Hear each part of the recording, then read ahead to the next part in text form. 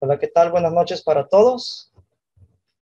Bienvenidos a la presentación del workshop profesional titulado ARGIS y QGIS aplicados como herramientas de exploración minera, interpretación geológica, geoquímica, geoestadística y teledetección a cargo de la ingeniera Isa, geóloga de exploración de Field.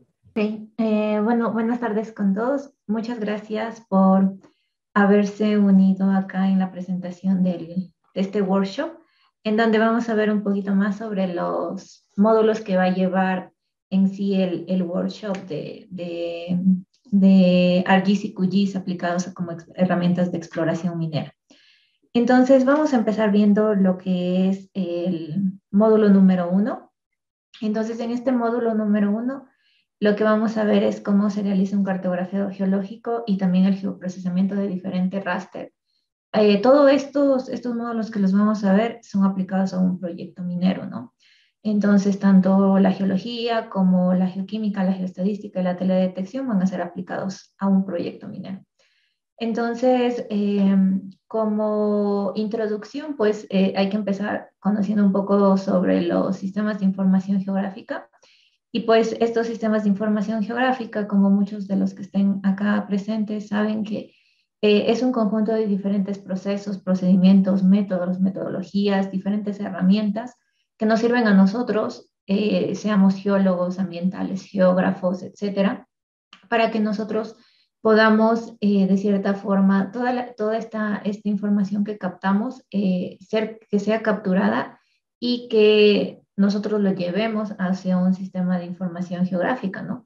Para que de esta forma, mediante, eh, como les decía, la captura, el almacenamiento, el análisis, la transformación que se hace, pues presentamos resultados a los clientes que nos piden, eh, por ejemplo, desde lo más básico, que es un mapa geológico, ¿no? De lo que tenemos en campo, pues llevarlo a, a la parte digital. Entonces, es sobre todo porque cuando estamos en proyectos mineros, pues sabemos que, salimos al, al, campo a mapear con un, mapa y es demasiada información la que se tiene, pues y si, y si llega a perderse esta información inclusive, pues perdemos todo, todo lo que hemos levantado en campo. Entonces, lo más aconsejable es que, pues si nos vamos a campo eh, a hacer mapeo geológico o estamos logueando, eh, pues toda esa información es preferible ingresarla ya en la computadora, pues y, y en el caso de mapas, o de si queremos hacer modelados o en cualquier interpretación, pues lo vamos a tener dentro de un sistema de información geográfica, ¿no?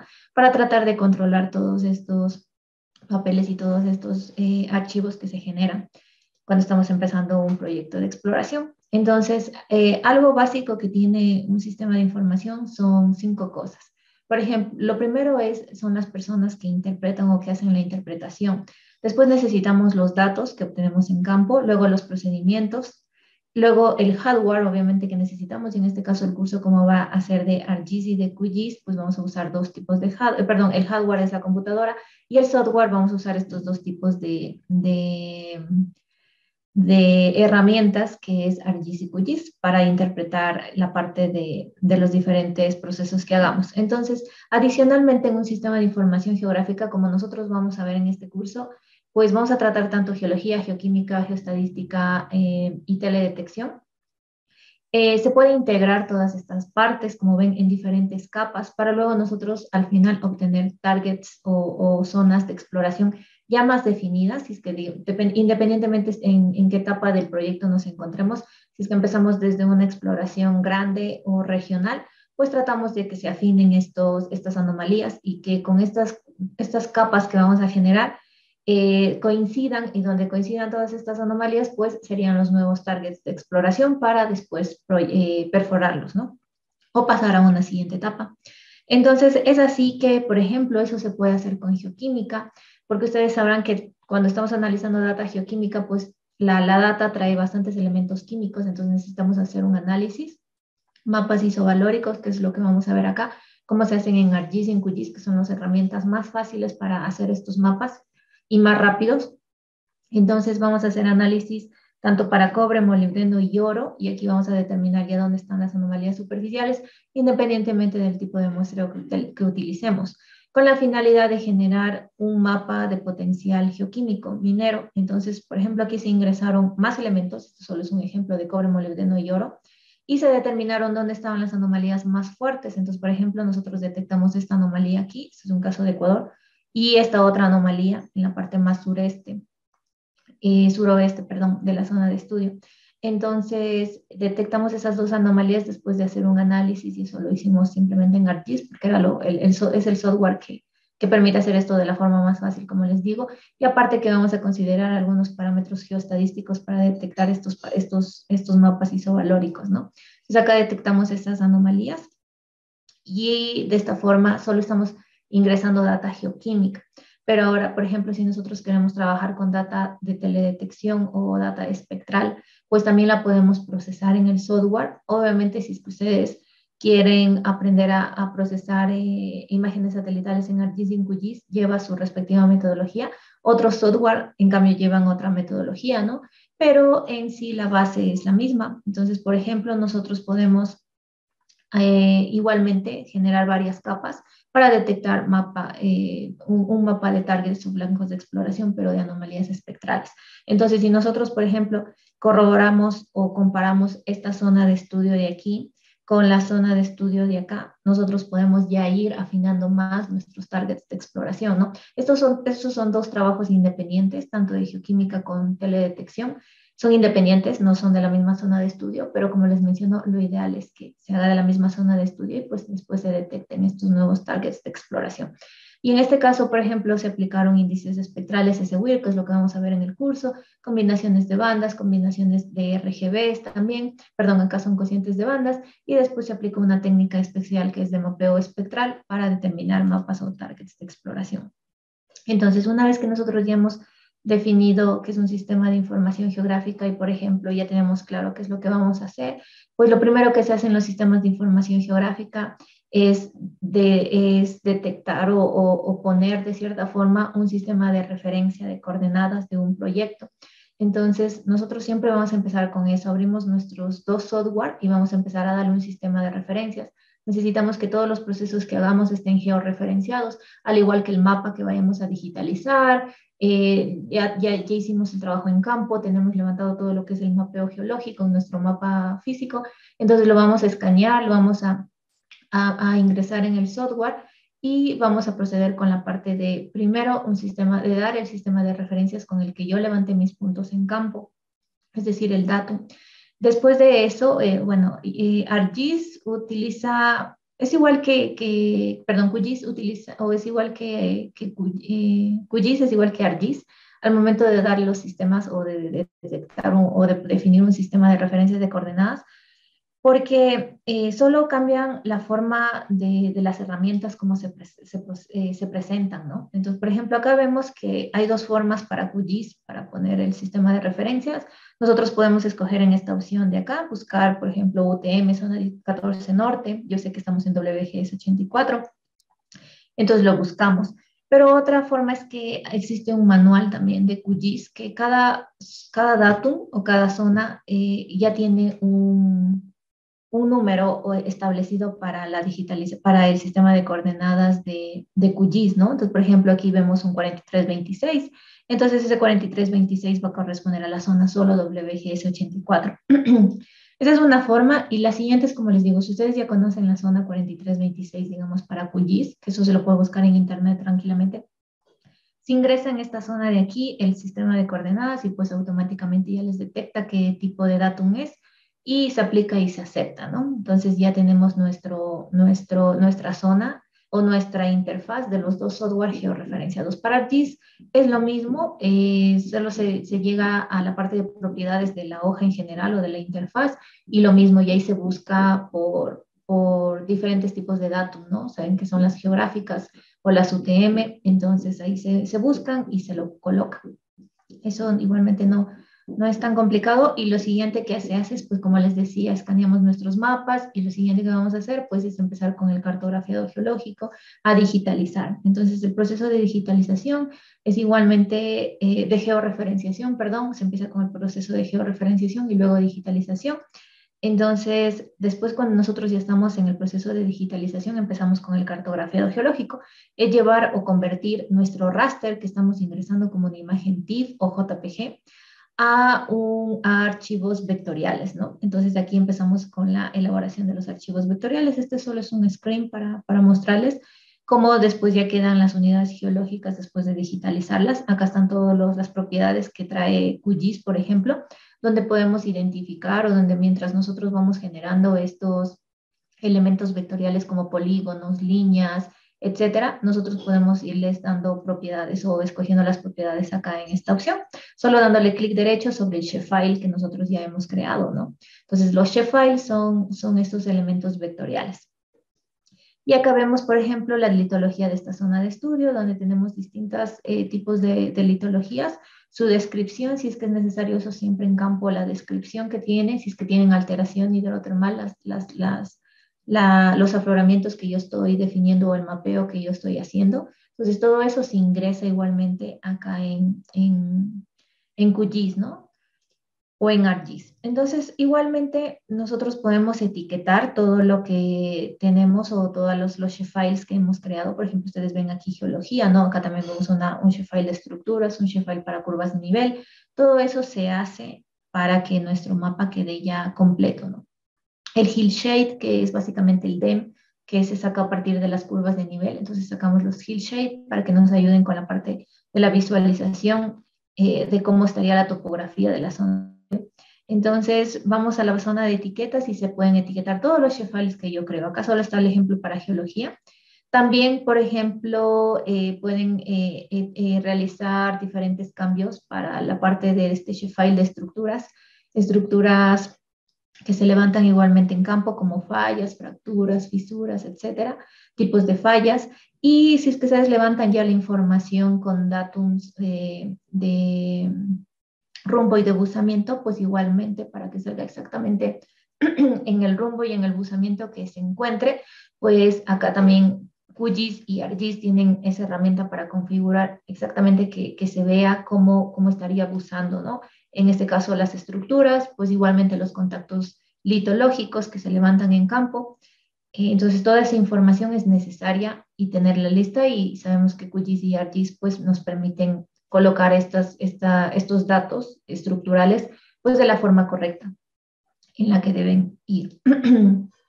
Adicionalmente, también se pueden cambiar todo lo que son propiedades, eh, como colores, tamaños de líneas, etcétera, colores de los polígonos igualmente. Y pues para ArcGIS es lo mismo, porque simplemente uno ya empieza a crear los files, que no, no, es complicado acá crear files, empieza a digitalizar los, los files, empieza a digitalizar los files de geología, los de estructuras, los de las curvas de nivel, que hay una forma también para digitalizar las curvas de nivel de forma rápida, o simplemente en, las, en los diferentes servicios geológicos que, que existen en cada país, pues ya viene esta información de la topografía, ¿no? Y pues acá en, en, en propiedades si nosotros le damos clic derecho en las propiedades de cada uno de estos files, pues podemos hacer varios cambios. ArcGIS y QGIS, los dos tienen bastantes herramientas para hacer muchos, muchos cambios. La, la, ventaja que tiene un poquito de QGIS es que es gratuito, ¿no? QGIS y que además QGIS ha diseñado diferentes plugins para facilitar más rápido los procesos. Entonces, en el curso también vamos a ver unos plugins como que me permiten hacer más fácil estos procesos de digitalización. Y en las otras ramas también, ¿no? Como geoquímica, geostadística y teledetección. Entonces acá igualmente ustedes pueden visualizar que acá también se, se, se, realizan o se hacen los cambios a estos polígonos del cartografiado geológico. Ahora, en QGIS, eh, mediante esta herramienta, que, que, es un plugin, que lo que les menciono son, son herramientas que me permiten facilitar los procesos en QGIS. Entonces, QGIS está tan, tan bien diseñado y también eh, programado con estos plugins que me permiten hacer cosas más fáciles y facilitar los geoprocesos, ¿no? Entonces, por ejemplo, hay este plugin de QGIS que me permite también visualizar mis, mis datos de perforaciones. Entonces, si ustedes tienen los datos de perforación en X, Y y Z eh, y el ángulo de buzamiento, pues QGIS también tiene esa herramienta para visualización de cómo estarían mis, mis pozos de perforación, ¿no? Entonces, a través de este plugin, eh, cuando nosotros utilizamos este plugin, pues lo que nos permite o lo que nos lo que nos ayuda eh, con este plugin es que nosotros debemos conocer, como les decía, X, Y, Z y también en la dirección del, del, del barreno o del pozo que se esté utilizando o que se esté interesado en visualizar. Entonces se lo introduce. Acá está la tabla de herramientas, de propiedades y luego acá está el, el, plugin, que es una ventana que se abre para visualización. Entonces es necesario que se cargue un DEM y que tengamos la, sobre todo lo que les acabé de decir, las coordenadas y el ángulo de buzamiento para que nosotros sepamos cómo podrían ir eh, nuestros barrenos. Y por ejemplo, acá está cargada la base de, de, geoquímica, entonces ustedes ya pueden visualizar dónde estarían las potenciales. Si hacemos una clasificación geoquímica, pues se ve que barreno es el que tiene más, más concentraciones químicas de diferentes elementos que estemos interesados, ¿no?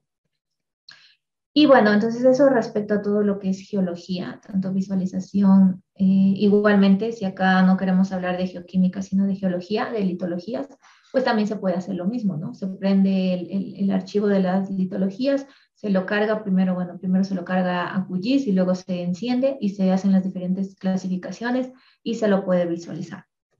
Ahora, eso, es, eso fue respecto a todo el campo geológico eh, y también se van a hacer otros procesos con, con los raster. Entonces, eh, ahora cuando ya, ya terminemos de entender cómo es todo el armado, cómo es toda la parte geológica, de, un proyecto, porque eso es lo, con lo que se empieza en un proyecto minero, en eh, conocer la parte geológica, entender cómo está mi, geología para yo poder eh, seguir con los siguientes procesos, ¿no? Ver si mis, litologías son prospectivas o no son prospectivas, ver cómo están mis contactos de buzamiento, sobre todo la de los intrusivos con la roca encajonante, ver mis estructuras, que a través de las estructuras es donde ascienden los fluidos hidrotermales para generar mineralización entonces eso es importante y por eso se empieza con la geología en cualquier proyecto eh, minero. Y bueno, eh, después de que ya empezamos con eso, pues el siguiente paso es lo que nos interesa más rápido, ¿no? Que es la geoquímica. Entonces, para hacer un, un buen análisis geoquímico es necesario entender geoestadística entender los principios de geoestadística que son previos a hacer mis mapas geoquímicos. Entonces, por eso en el, en el curso vamos a dar también un tema, un capítulo sobre geoestadística, para que se entienda cómo se pueden generar estos mapas geoquímicos, porque esa es la base del modelamiento geoquímico, tanto en superficie como en, perforaciones o en, en, tres dimensiones. Entonces, para eso es importante entender o empezar siempre con un análisis exploratorio de datos. y en todos mis cursos que he dado siempre empiezo con esto, enseñando a la gente que haga bien esto, porque si no se hace bien el análisis exploratorio de datos, pues simplemente las anomalías son muy distintas o se obtienen distintas anomalías. Y ahí vienen los problemas que cuando perforan, no cortan, no cortan la mineralización, no cortan el target que supuestamente definieron en superficie, ¿no? Entonces, si es que ustedes empiezan haciendo un análisis exploratorio de datos bien, como se debe hacerlo, controlando todos los problemas que existen en una data geoquímica o en una data geofísica, eh, o en cualquier tipo de data, inclusive está en la espectral, porque también he hecho análisis exploratorio en data espectral. Entonces, una vez que corregimos todos estos problemas de inconsistencias, pues nosotros ahí sí podemos procesar la información y los resultados van a ser más certeros. Y cuando se compara con otras técnicas, pues efectivamente se espera que existan zonas donde se corroboren esas anomalías y qué mejor si empezamos con anomalías grandes a que estas anomalías se vayan afinando. Y luego la, forma de, de, testear estas, estas anomalías en superficie pues es con una buena planificación de barrenos o de, o de, o de pozos de perforación, eh, considerando pues todas estas técnicas que les digo, la topografía de la zona de estudio, por eso es que necesita estar bien también levantada la información geológica con sus estructuras, con sus buzamientos correctos, eh, para que se, cuando el momento que ustedes ya planifican los barrenos, pues efectivamente se corte lo que necesitamos, ¿no? El interés entonces, eh, para eso se, detecta o se, perdón, se necesita tratar todas las inconsistencias, como les decía, por ejemplo, los, los datos que están por debajo del límite de detección, por encima del límite de detección, las distribuciones que no son normales, los valores que faltan, por ejemplo, si es que existen diferentes métodos de digestión, eh, también sé cómo tratar esto, la falta de coordenadas. Y pues uno de los más importantes que había colocado acá es el tratamiento que está por debajo de los límites de detección, ¿no? Entonces, cuando nosotros cargamos la data en ArcGIS y QGIS, nos detecta los valores que están por debajo del límite de detección. Pues, y alguien que no sepa cómo tratar esa data geoquímica va a modelar eso. Entonces, algunos laboratorios mandan con signo no negativo, otros con signo de menor que, y pues simplemente QGIS les va a detectar si es con el signo de mayor que o menor que, ARGIS les detecta como error, ¿no? Y pues si es negativo, no va a estar conforme sus anomalías, porque lo que hace ARGIS y QGIS es que nosotros como, como interpretadores de la data que estamos ah, tratando, eh, nosotros debemos definir backgrounds y zonas de anomalías y de threshold. Entonces, si nosotros ya definimos, pero el momento de procesar en ArcGIS o en QGIS, pues el software procesa de otra, considerando estos valores negativos, pues obviamente va a cambiar ese background, ¿no? Porque ese análisis de background, de threshold y de anomalía se lo puede hacer tranquilamente en cualquier software como el Excel o, o Minitab. Pero si nosotros ya lo queremos llevar a que lo modele netamente ArcGIS o QGIS, como les digo, ya va a detectar ese error. Por eso es importante tratar estos, estos valores que están por debajo del límite de detección.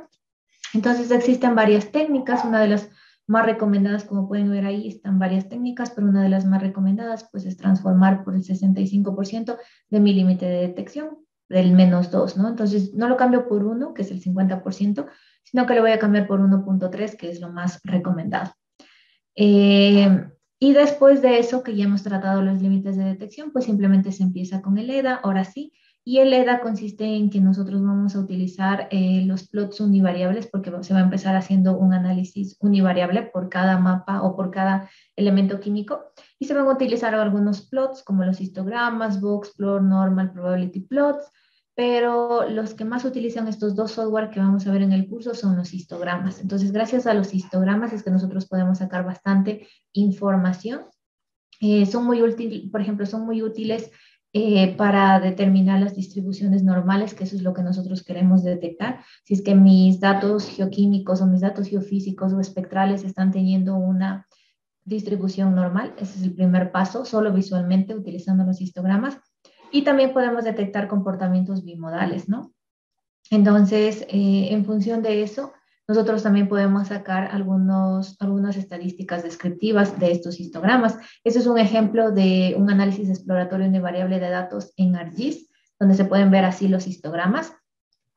¿Y qué nosotros podemos obtener? Pues nosotros podemos sacar medidas de tendencia central, como la mediana, la media, la moda, son estadísticas descriptivas. Eh, también podemos determinar desviaciones estándar, varianza, coeficiente de varianza y medidas de forma, ¿no? Por ejemplo, si mi curva tiene una forma mesocúrtica, leptocúrtica o platicúrtica, y si es que está sesgada hacia la derecha o hacia la izquierda. Eso es lo importante.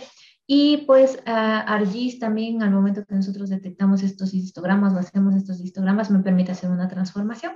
Si yo veo que mi data no cumple, pues existen criterios para hacer las transformaciones para que mi data cumpla con una distribución normal. Acá el software de ArcGIS me permite hacer eso directamente porque ArcGIS es un poquito más eh, desarrollado para hacer un análisis geoestadístico general de, de, una data. Entonces, acá sí se pueden considerar varias cosas para hacer ese análisis. Mientras que QGIS es un poquito más limitado, como pueden ver acá, eh, acá nosotros podemos sacar efectivamente las estadísticas descriptivas, como ven ustedes aquí, y el proceso que se haría es el mismo, solo que QGIS no me muestra un histograma em, donde yo pueda hacer directamente la transformación de mis datos, de mi data. O sea, transformar la data que no está normalizada a data que sí está normalizada. Eh, pero eso se lo puede complementar tranquilamente con ArcGIS, ¿no? Entonces, después de que nosotros hemos tratado lo que les digo, si es que está normal o no está normal mi data geoquímica, pues lo siguiente se hacen pruebas de normalidad. Entonces, aquí, por ejemplo, existen pruebas de normalidad con respecto a las medidas de tendencia central que ya veíamos que es media moda. Eh, y aquí vemos que la media y la mediana tienen que estar iguales o ser iguales para que se cumpla con una distribución normal. Entonces vemos que 4.83 a 4.86 no hay mucha diferencia y están viendo también la forma de la, de los datos, ¿no? Entonces tiene una distribución normal, pero porque está transformado ya al logaritmo. Si nosotros analizamos la data sin transformación de logaritmo, tal vez pudimos haber encontrado que no está normal y cuando no está normal es que la media y la mediana no tienen los mismos valores. La segunda prueba de normalidad que se puede hacer en, en ARGIS es eh, utilizando el coeficiente de sesgo, ¿no? Entonces, por ejemplo, el coeficiente de sesgo me da ARGIS y este coeficiente de sesgo es para ver si es que la data está sesgada hacia la parte derecha, hacia la parte, perdón, izquierda o hacia la parte derecha. Entonces, aquí ven las data geoquímica del bario, que no está transformada y se ve así. Entonces, ¿su coeficiente cuánto es? Es de 10, coeficiente de sesgo es de 10.2. Entonces, hay tres criterios para considerar el tipo de, de, transformación que yo voy a hacer. Entonces, si mi coeficiente dice que está de 0 a 0.5, se acepta como una distribución normal. Si está de 0.5 a 1, se necesita hacer una transformación de raíz cuadrada. Y si es más a 1, mayor a 1, perdón, se hace una transformación de logarítmica. Entonces, como es 10, yo voy a proceder a hacer una transformación logarítmica. Y aquí ya se le cambia al logaritmo y automáticamente ya los datos deberían cumplirse con una distribución normal. Entonces, miren, se cambió el logaritmo, el vario mismo, y ya cambió su distribución. Entonces, se utilizaron las medidas de, las medidas de tendencia central y el coeficiente de sesgo, ¿no? Para hacer estas pruebas de normalidad. Entonces, eh, una vez que nosotros ya hemos normalizado nuestra data, lo siguiente que debemos hacer es empezar a ver qué tipo o qué modelo geoestadístico me va a permitir realizar mi estimación o mis mapas geoquímicos o isovalóricos. Para eso es importante entender los conceptos de threshold, de anomalías y de background. Eh, para eso igualmente ustedes ya tienen las estadísticas descriptivas, pues como les decía, simplemente son fórmulas. Por ejemplo, el background es igual a la media el threshold, en cambio, es igual a la media más una desviación estándar. Para definir anomalías bajas, es la media más dos desviaciones estándar y las anomalías altas siempre son mayor a tres desviaciones estándar. Entonces, si ustedes ven aquí mis, mis medidas o mis, mis valores de tendencias de, de, estadísticas descriptivas, pues van a ver todo, todo lo que necesito. Entonces, para detectar el background, como les decía, media. Threshold, media y desviación estándar. Anomalía baja, igualmente media y desviación estándar. Y lo mismo con la anomalía alta. Es importante considerar los cuartiles también, porque a través de los cuartiles también yo puedo sacar background, threshold y anomalías. Existen otros software que, por ejemplo, utilizan eh, los, los cuartiles para detectar estas anomalías, sobre todo las anomalías más altas, que son a partir de las tres desviaciones estándar pero acá nosotros lo podemos hacer con la media y la desviación estándar, que se supone que nos debería dar los mismos resultados, aunque los rangos intercuartiles es un poco mejor porque trabaja con, estamos trabajando con cuartiles, ¿no? Y pues tiene el mismo principio, simplemente se aplican fórmulas y se detectan los background, threshold y anomalías. Ahora, después de que nosotros hemos ya determinado, como les decía, nuestras tres cosas principales, que es background, threshold y anomalías, Después lo que vamos a hacer es efectivamente definir mi tendencia. Esto es algo muy bueno que tiene ArcGIS y que yo sí em, eh, rescato esto de ArcGIS porque hay otro software que donde yo puedo hacer mi análisis geoquímico también, pero no se considera tanto el análisis estructural de mi tendencia geoquímica. Entonces, em, existen otros software de geoestadística igualmente que esto es lo principal que se hace para que mis anomalías estén o sea, las anomalías que voy a tener de geoquímica estén conformes a la tendencia que está teniendo mi data, porque la data geoquímica tiene tendencia. Toda la naturaleza tiene una tendencia. Entonces, acá lo bueno de ArcGIS es que sí me permite determinar esa tendencia. Y pues analiza los datos o la data geoquímica para detectar si yo tengo una tendencia lineal si yo, tengo, si yo no tengo tendencia, por ejemplo, cuando se marca una línea de esta forma, cuando tengo línea, tendencia de línea lineal es de esta forma, y me permite determinar la dirección. Por ejemplo, norte-sur, yo no voy a tener tendencia en mi data geoquímica. Entonces, mis anomalías van a ser las típicas como redonditas.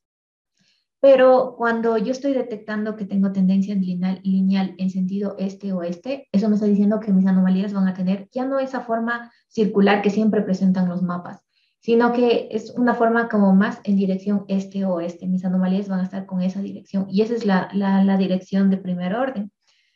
Eh, y eso también lo, lo, ayuda a hacer ArcGIS, eh, tiene esa, esa, esta herramienta para hacerlo. Y pues después de eso nosotros empezamos con el análisis variográfico. Primero definir el método de interpolación. Existen varios métodos de interpolación, como pueden ver acá.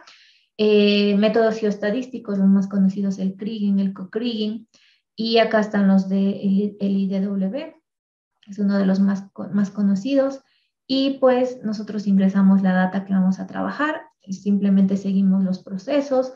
Aquí nosotros en el tipo de kriging que vamos a usar, pues nosotros ya determinamos la tendencia, ¿no? Era una tendencia de primer orden, entonces yo le voy a escoger esta opción de acá. Y después acá me va a decir que efectivamente tengo que hacer mi análisis variográfico, es decir, comparar el semivariograma con la data, con la data geoquímica, pero sobre todo con la parte estructural de la data geoquímica. Entonces se crea, por ejemplo, elipses de búsqueda para que estos elipses tengan la misma dirección estructural que yo había determinado anteriormente. Entonces, si se acuerdan que era este-oeste, entonces al, elipse yo le tengo que colocar este-oeste. Si yo voy cambiando mi elipse y mi área de búsqueda, el variograma también no va cambiando porque yo ya escojo el tipo de variograma, en este caso, digamos, gaussiano, sino que mis datos geoquímicos se tienen que ajustar a esta línea del, variograma. Entonces, las líneas en color, las, las cruces en color azul son los promedios y los que están en color rojo son todos mis datos geoquímicos y ven cómo se va ajustando. Entonces, el mejor modelo es aquel que se ajustan todos los datos que yo considero mi tendencia central y obviamente que debe cumplir algunas características de acá, ¿no? Como la anisotropía, bueno, anisotropía es que ya vamos a considerar la tendencia central cuando no es anisotropía o cuando no tiene anisotropía, pues simplemente es porque no ha tenido tendencia en mi análisis estructural que yo hice al inicio. También el valor de la pepita, el valor que tiene el del valor más, el, valor del, valor más, eh, más alto, que es del rango. Entonces, todo eso nosotros debemos considerar. Y pues cada modelo variograma, variográfico perdón, ya viene con sus características de este tipo. Entonces, una vez que nosotros ya hemos determinado qué, modelo de semivariograma eh, es el más ideal para mi data geoquímica, por ejemplo, acá está el gaussiano, pues ahí sí se pasa al siguiente punto donde se hace una validación, entonces se hace, perdón, una correlación entre la data que yo tengo y la data y, la, y las anomalías que se esperan obtenerse. Entonces, este, esta línea de regresión, porque es básicamente una, un, una, un diagrama de comparación, esta línea de regresión, que es la ideal para que todos mis datos geoquímicos coincidan en esta, en esta línea, pues cuando yo ya voy a obtener mis anomalías, me va a generar una línea de regresión de esas anomalías que yo voy a obtener. Se supone que si cumplimos con, si hicimos un buen análisis geoestadístico, pues estas dos líneas deben coincidir en, en, en, menos ángulo, ¿no? Deben coincidir exactamente el azul con esta de acá, pero no siempre sucede así, pero tratamos de ver que coincidan y que sea cada vez menos el ángulo que las separa. Entonces después ya obtenemos el mapa y aquí ustedes pueden observar el mapa, miren la, la, tendencia, lo que les decía, ya no son esas típicas anomalías circulares que se presentan en los mapas, sino con tendencia, que he hecho mi análisis estructural de la data geoquímica. Entonces, igualmente, eh, acá está un ejemplo, eh, perdón, acá está el, tipo que escogimos, método gaussiano, y acá está cómo se vería con el método gaussiano, ¿no? Las anomalías. Y después de eso, eh, también, como les decía, esos son métodos de interpolación usando geoestadística. Pero los métodos de interpolación más conocidos que existen, por ejemplo, es el IDW. Entonces, este es un screen de un análisis o de un análisis de interpolación geoquímica con el IDW usando QGIS. QGIS no tiene esa herramienta tan avanzada como la de tendencias para definir mis anomalías, pero tiene la de interpolación por algunos tipos de interpolación, ¿no? Entonces aquí está la de interpolación IDW, se ingresan los datos, acá está la malla de muestreo, geoquímica, y después nosotros obtenemos el resultado, que si ustedes observan, miren, son las típicas anomalías que les decía que se marcan en forma circular, porque me está solo interpolando con el vecino más cercano, ¿no? Entonces me hace una interpolación con los datos más cercanos. Y los que corresponden al mismo rango que efectivamente QGIS detecta, entonces esos los agrupa dentro de una anomalía, potencial anomalía pero aquí no se está respetando la tendencia. Pero si ustedes observan aquí en esta parte, hay dos zonas súper cercanas, anomálicas, acá también. Entonces, más o menos tiene esta tendencia. En norte-sur casi no se marcaba porque es con la misma data que se está trabajando acá. Entonces, aquí hay un poquito, casi norte-sur, pero más es este-oeste, ¿no? Igualmente, acá el, el, software les da la opción, o sea, les da por defecto las diferentes clasificaciones, pero ustedes, como ya han hecho su análisis de background, threshold y anomalías, pues ya pueden detectar eh, o acá nosotros ya podemos cambiar esos rangos y los ponemos de acuerdo a lo que yo hice el análisis con mis estadísticas descriptivas que las saqué a través solo de un histograma. O en el caso, en el caso de ArcGIS, o en el caso de QGIS, igualmente de las estadísticas descriptivas que se sacan de acá. Ahora, ese es igualmente como se vería con la geología, donde están las anomalías, más sobre todo en la, en la zona o en la roca encajonante, dependiendo del elemento que se haya analizado, ¿no? Entonces, ahora sí que hemos entendido la geoestadística de cierta forma o de forma general, pues pasamos a la geoquímica. Entonces, ahora sí que nosotros ya hemos visto qué tipo de variograma vamos a usar. Digamos, para este caso, antes yo les presenté el gaussiano, ahora es este otro caso, el exponencial para el vario. Igualmente, miren cómo se ven las anomalías. Antes también estábamos trabajando con el vario. Y miren cómo se ven en cambio las anomalías si yo cambio a mi, a mi variograma eh, exponencial. Entonces, miren, aquí está la traza del semivariograma. Aquí están los puntos medios, que son las cruces en azul, y miren cómo se acomoda mejor, ¿no? Entonces, si veían en gaussiano, no estaba tan bien, los valores no estaban cercanos a esta curva, pero si vemos en exponencial, está un poco mejor. Entonces, en ese caso, yo me quedaría con este semivariograma. Igualmente, acá se hacen comparaciones con eh, las correlaciones. Las correlaciones siempre traen un valor de correlación, entonces mientras menor sea ese valor de correlación, hay mejor correlación de que este semivariograma exponencial corresponde efectivamente a mi zona de estudio o le va mejor. Y aquí también se está considerando la parte de la anisotropía, porque yo vi que es anisotrópico, entonces eh, se considera la tendencia este-oeste, se, se, ve el, el radio de búsqueda, y aquí están las anomalías, ¿no? Entonces, miren, anomalías de este-oeste igualmente. En cambio, acá estaba lo del gaussiano que les presentaba anteriormente. Eh, y en este caso, por ejemplo, acá se hizo el análisis del plomo. Y lo mismo para el análisis del plomo, también se detectó tendencia central este-oeste. Y aquí, en cambio, también ustedes pueden observar los valores que no están tan cercanos a la, a la, al, al trazo del semivariograma, ¿no? Y bueno, eh, eso en cuanto a, ArcGIS, o sea, una vez que nosotros ya hemos hecho todo ese análisis en ArcGIS, el geoestadístico, pues en QGIS también podemos hacer esto o obtener estos mapas isovalóricos. Entonces, lo primero que vamos a hacer es cargar toda la data, lo primero que se hace es ver cómo está la data, si que yo voy a tener valores altos de concentraciones, y por ejemplo, en este caso, si hay valores altos de concentración marcados en color eh, magenta o violeta, y pues vemos que posiblemente tengamos anomalías más en la parte noreste de la zona de estudio, ¿no? Ya me da una idea, pero no, no, no sé cómo van a estar mis anomalías. Entonces, pues efectivamente eh, ingresamos la data acá en QGIS y como les decía, tenemos limitados los tipos de interpolaciones. Los que veíamos antes en ArcGIS son a través de geoestadística, análisis geoestadístico, más a profundidad porque llevan eh, análisis de, tendencias, de tendencia estructural. En cambio, esos de acá son más generales, como el IDW, que es cualquier tipo de interpolación. Y pues no considera lo que les menciono, que es la tendencia estructural. Entonces ven aquí lo que ya veíamos y después que nosotros ya hemos obtenido tanto mapas isovalóricos con ArcGIS o QGIS, pues lo siguiente que nosotros vamos a hacer en el curso es, es hacer un álgebra de mapas, que se lo puede hacer en cualquiera de los dos software, con la finalidad de generar un solo mapa geoquímico eh, de potencial geoquímico, lo que les empecé mostrándoles, ¿no? Entonces aquí están nuestros mapas isovalóricos por cada elemento químico, se hace álgebra de mapas y pues se detectan las anomalías más fuertes, dónde están, en qué zonas. Y se hace en función de los elementos químicos que ustedes estén interesados, porque hay que conocer muy bien la zona de estudio. Y algo, algo que, que vamos a darles acá como bono es que, como les digo, nosotros debemos conocer la zona de estudio bien para que nuestras anomalías efectivamente estén más cercanas a lo que yo aspiro encontrar en la zona de estudio. Entonces, gracias a eso, yo creo que yo no, no había visto eh, este tipo de cosas que, que lo den eh, y pues cuando uno está en la universidad también solo, solo lo hace, la geoestadística la hace por, por cómo nos enseñan, ¿no? Pero cuando uno ya está en el mundo laboral, pues tiene que ponerse a pensar en todo, en todos los ambientes para que mis, mis, mis anomalías, pues como les decía, estén más cercanas a lo que yo aspiro encontrar. Entonces, acá, por ejemplo, como les decían, les vamos a dar un bono exclusivo, que es una guía práctica sobre procesos hidrotermales para generar mapas multielementales de acuerdo a la zona de estudio.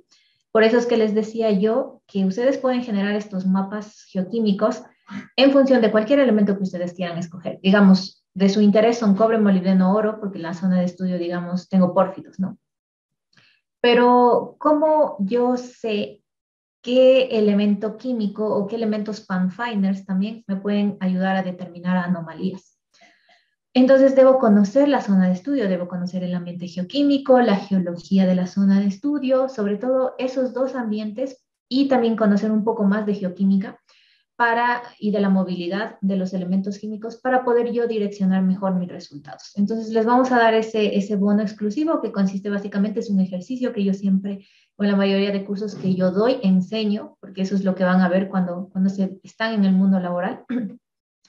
Entonces, es conocer básicamente el ambiente geológico y geoquímico. Acá ven ustedes la geoquímica donde está, la malla de, de muestreo donde está, eh, conocer información geoquímica previa, también la histórica, todo lo que ustedes puedan recopilar de esa zona de estudio, conocer y después de eso, pues conocer lo que yo quiero buscar. Entonces, yo estoy, cada empresa tiene un objetivo de búsqueda. No es que se ponen a buscar lo que exista en la, en la, en la, en la zona de estudio, ¿no? sino que tienen un objetivo.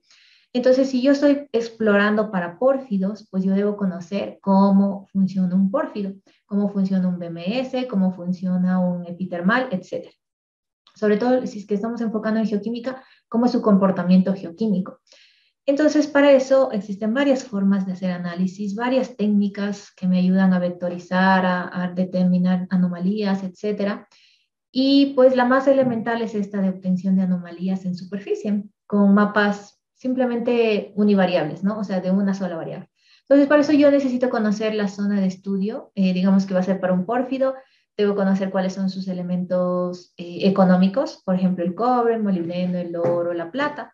Pero cuáles son, no son sus elementos económicos, pues puede ser el renio, el arsénico, el potasio, tampoco no es tan económico, pero el plomo y el zinc sí, pero esos son elementos panfiners.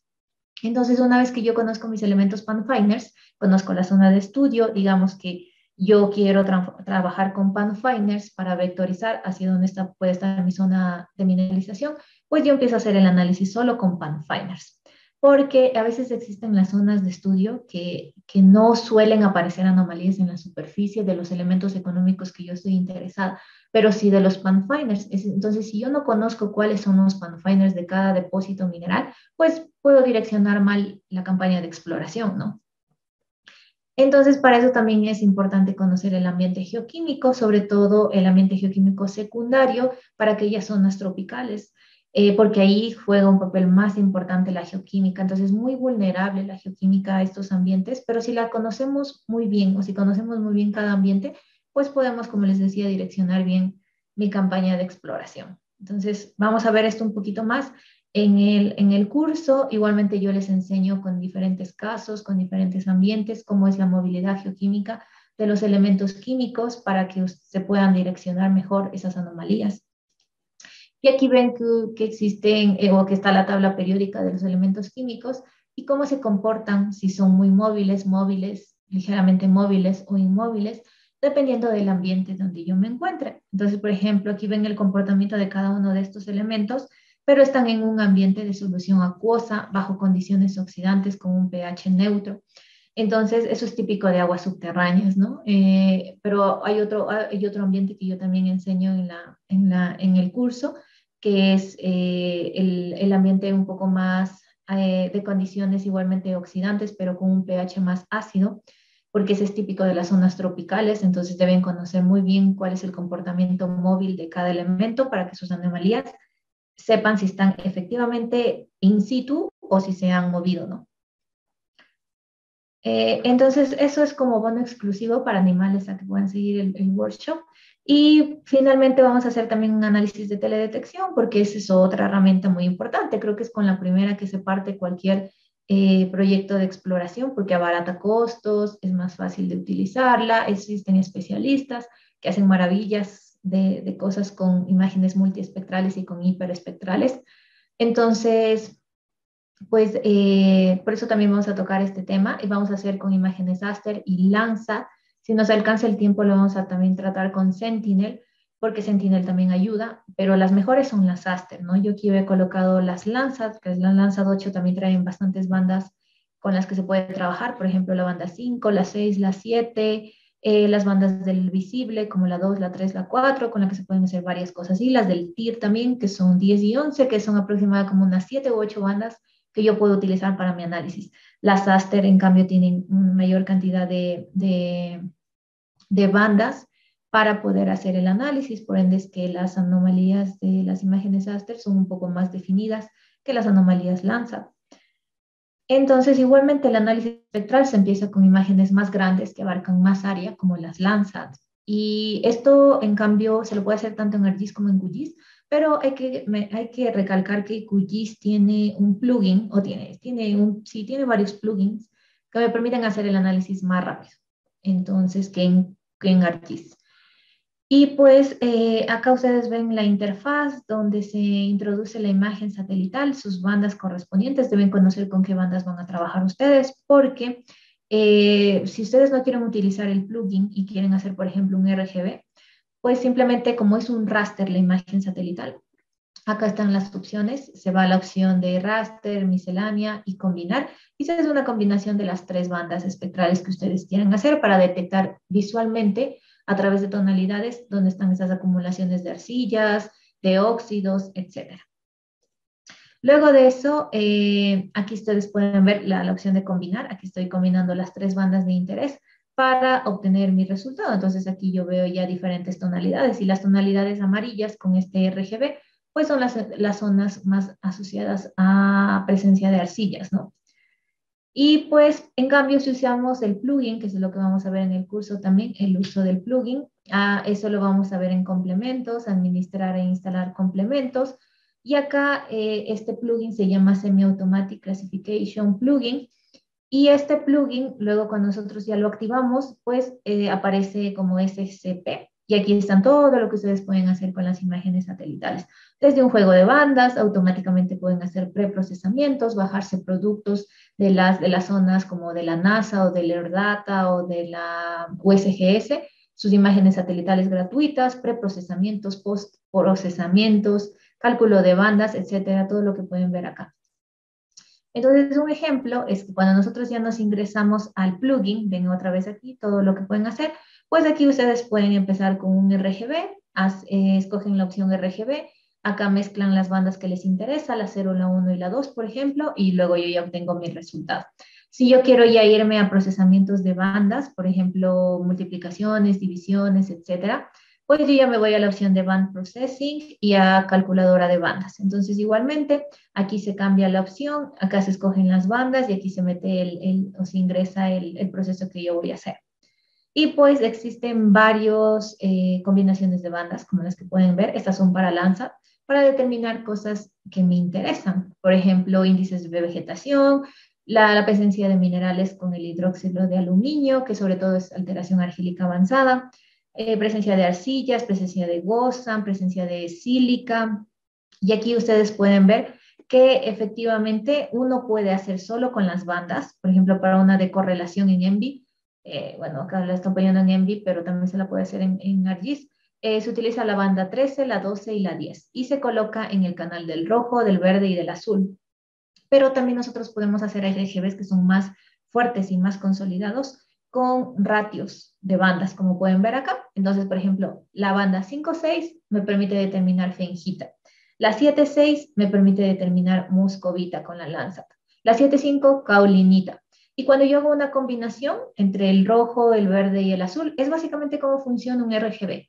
Digamos, yo hago ya la combinación, como ven acá, y mis zonas se marcan rojas. Entonces, ¿qué voy a tener? Predominancia de fengita. Pero si mis zonas se marcan entre el rojo y el verde, que es un color más o menos violeta, entonces yo voy a tener presencia de fengita moscovita. Lo mismo pasa, si mis zonas se marcan más azules o celestes, voy a tener más caolinita. Y lo mismo, ¿cuál es el, color de transición entre el verde y el azul? Pues existe ahí, no, no sé exactamente cuál es, pero igualmente donde se marcan estas tonalidades hay moscovita y caolinita. Hay que entender cómo funciona la parte de los, de los colores y sus mezclas entre, entre los que están involucrados para poder yo dar mis resultados, ¿no? Y no solo esperar que un autor me diga, con esta banda tú vas a encontrar arcillas o con esta banda tú vas a encontrar óxidos, sino también hacer uno, cada uno, su propia interpretación. Y pues eh, acá están las partes de, las, de los ratios de bandas. Eh, este ratio de bandas eh, igualmente me permite determinar varias cosas con las lanzas. Entonces ustedes pueden ver acá el ratio de banda, el comentario, por ejemplo, hay algunos ratios de banda que son muy utilizados para endoscar, otros para alteración fílica, otros para exoscar, así, etcétera. Otros simplemente para vegetación. Y aquí ustedes ven las bandas que se involucran de las lanzas y se, se, se incorporan y luego se obtienen los resultados, ¿no? Entonces, esto es división de bandas, suma de bandas, resta de bandas, etcétera. Y pues acá en cambio está eh, igualmente algunos cocientes de bandas, pero para imágenes Aster y para imágenes Sentinel como una comparación. Entonces con las Aster y con las Sentinel se puede hacer muchas cosas. Aster y Lancer más para alteraciones y óxidos y Sentinel específicamente para óxidos. Funciona muy bien para óxidos, por eso ven ustedes aquí que tiene más sus bandas para óxidos, ¿no? Para carbonatos, para minerales máficos, las Aster, para silicatos igualmente las Aster, para varias cosas las AST, pero las Sentinel sí tienen como un poquito más de limitación para los óxidos de hierro. Y pues también pueden hacer el preprocesamiento, como les decía, en el SSP de Landsat, Sentinel. Aquí están todas las imágenes que ustedes pueden hacer, ¿no? Y si quieren descargarse los productos, sean gratuitos, eh, sobre todo funciona con gratuitos porque tiene la vinculación con AirData o, o con Air Explorer. Entonces hace la vinculación y descarga las imágenes. Y bueno, hasta ahí es mi intervención. Eh, espero les haya gustado y, espero que se animen también a seguir el curso porque es un curso que voy a dar por primera vez que va a integrar, desde mi punto de vista, las cosas más importantes eh, en trabajos de exploración superficial para poder yo definir anomalías eh, o targets de exploración, ¿no?